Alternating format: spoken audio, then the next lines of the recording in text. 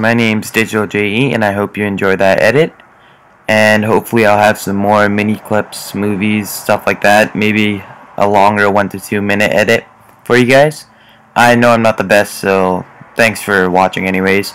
But that was my introduction to Phazer Gaming, and I'll have some ga long gameplays, commentaries out for you guys soon.